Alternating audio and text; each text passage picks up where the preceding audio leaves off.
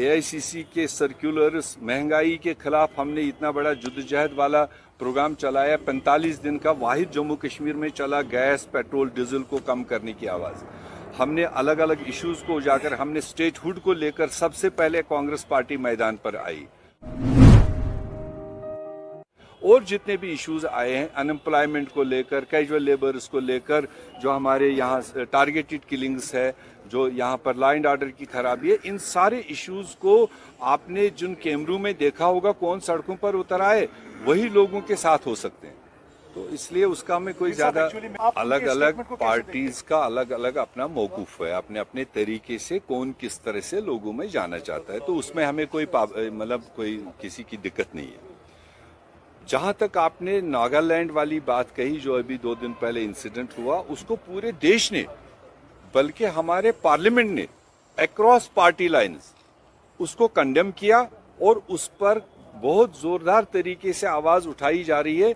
वो चाहे नागालैंड में इस तरह के हादसे हो रहे हैं या जम्मू कश्मीर में, जिन दोनों स्टेटों में अपसपा लगा हुआ है, जो एक एक्स्ट्रा पावर्स फोर्सेस को देता है। और उसके कवर अप में वो कुछ भी करें तो उस पर इन्वेस्टिगेशन नहीं।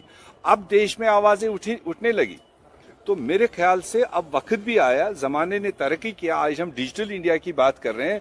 ऐसे डिजिटल इंडिया को देखते हुए अब अपसफा जैसे कानूनों को लागू करना और अपने ही देश के लोगों के खिलाफ मेरे ख्याल से अब इन चीज़ों में रिवीजन होना चाहिए, मरकजी सरकार को खुले आँख से और खुले दिल से।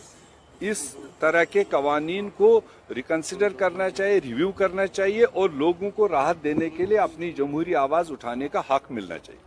आप सीनियर लीडर है इस रियासत के, मगर एक तरफ़ तो वो खुद ही कोर्ट में गए हुए और आल पार्टी में भी उन्होंने प्राइम मिनिस्टर के सामने अटेंड किया। अब आल पार्टी में उन्होंने क्या कहा, कोर्ट में क्या लेकर गए हैं वो और यहाँ पर क्या कह रहे हैं, वो एट लिबर्टी है। और ये तो लोगों को समझना है कि हम कौन से रास्ते पर चले? तो जो आज मुमकिन है वो आज बात करें जो चार दिन बाद मुमकिन हो सकता है उसको चार दिन के बाद में उठाने की बात है। तो एनी anyway, फारूक साहब ने अगर कोई आह्वान अपने कार्डर्स को किया है तो मुझे उसमें कोई आपत्ति नहीं है। और कहा कांग्रेस तो 370 देने वाली थी। आप इस बात को समझ नहीं रहे हो। 370 देने वाली कांग्रेस पार्टी और पंडित जवाहरलाल नेहरू रहे जो 70 साल इस स्टेट में रहा मैं नाम नहीं लेना चाहता हूँ। बहुत सारे हमारे ही लोग हैं, हमारे जम्मू कश्मीर के लोग, जो 4 अगस्त से पहले उस 370 का वज़न नहीं ना पा रहे थे। वो तो 370 होते हुए, पैंतीस ए होते हुए भी कुछ और बैक जाना चाहते थे। अगर उस वक्त सब लोगों ने पहले जो था, उसको कायम रखते हुए आगे की लड़ाई लड़ी होती तो शायद ज़्यादा बेहतर रहता। और अब आज के दिन पर वो लोग मांग रहे हैं, मांगने का उनका पूरा हक है कि अब हमें वही दे दो, चार अगस्त की पोजीशन वापस दे दो। तो चार अगस्त को तो था, चार अगस्त तक तो था। हमने शायद उसका वैल्यू तब नहीं समझ पाया, जो हमारे पास था। तब हम उसकी बात ही नहीं करते थे, हम तो कोई तिरपन की बात करते थे, कोई सैतालीस की बात करते थे, कोई पता नहीं पचहत्तर की बात करते थे। तो आज अब दो साल के बाद कह रहे हैं कि चार अगस्त वापस दे दो। शुक्र पढ़ो, अभी लोग सारी चीज़ों को समझ रहे हैं। हर दहाई के बाद कौन पार्टी रंग बदलती रही?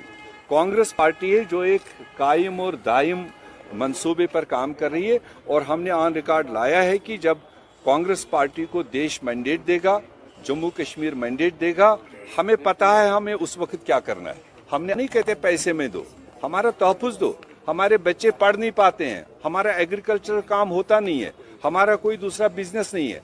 तो ऐसे में कॉन्स्टिट्यूशनल तहफुज जो पहले मिला था जो उन्हें छीन लिया कोई और बेहतर तरीके से उसको सोचा जा सकता है। पार्टी की बात आपने कहे वहाँ हमारी कई इकाइयाँ हैं जो हर चीज़ पर नज़र रखे हुए देखो मैंने पहले ही कहा पार्टी में हमारे बहुत सारे फोरम है जहाँ आपसी मतभेद या इश्यूज़ को डिस्कस किया जा सकता है। वहाँ तक तो कोई गलत नहीं है। वो पार्टियों का काम है। मगर जब आ, कोई भी साथी डिबेट बनाए वया मीडिया, वो कहीं ना कहीं डिसिप्लिन के बाहर है। तो उन चीज़ों पर नज़र है। महबूबा मुफ्ती जी का जहाँ आपने बता दिया, ये गोडसे का जम्मू कश्मीर की बात नहीं, ये हम वाजह कर चुके हैं कि आज गोडसे का हिंदुस्तान बनाया गया।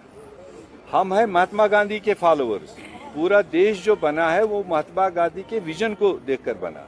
मगर ये कहीं ना कहीं हम लोगों को शायद ऑन बोर्ड नहीं रख पाए, समझा नहीं पाए और थोड़ी देर के लिए गोडसे का इंडिया इस वक्त चल रहा है। जिसके लिए राइटली उन्होंने कहा कि जम्मू कश्मीर ने गोडसे का हिंदुस्तान कभी कल्पना नहीं की वो तो महात्मा गांधी के हिंदुस्तान के साथ की बात रखते थे। तो ऐसे में वो गोडसे वाली पॉलिसीज़ जम्मू कश्मीर शायद बर्दाश्त नहीं करे